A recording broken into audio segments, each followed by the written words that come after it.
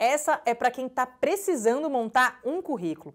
O G1 tem uma série de dicas para você montar um currículo bom, diferenciado e só usando o seu celular.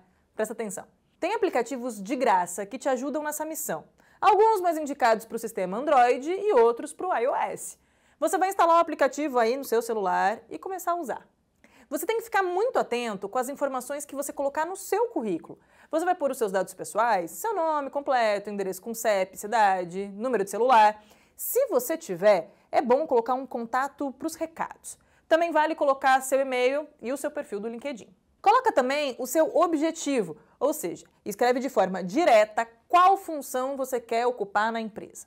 E depois é hora de se vender. Coloca suas informações positivas, suas habilidades, conhecimentos, experiências, onde você trabalhou, o que você estudou. Vale pôr, se você tiver, experiências internacionais e trabalhos voluntários. Depois que você preencher tudo direitinho, salva em formato PDF e pronto, pode enviar.